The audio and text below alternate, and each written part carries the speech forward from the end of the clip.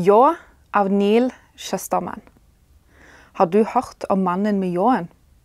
Han som kommer og henter de som skal dø? Denne boka er satt i en perfekt verden, hvor all sykdom kan helbredes. Alle oppdagelser er allerede funnet, og hvis du dør, så kan du bli gjenoppliva. Allikevel så må vi passe på at verden ikke blir overbefolka.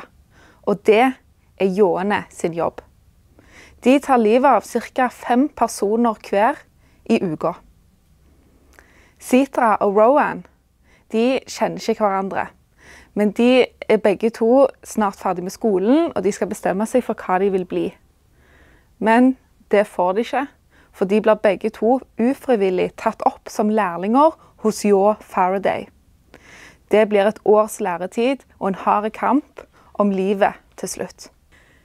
Er du glad i dystopier og Hunger Games? Da vil du like denne boka.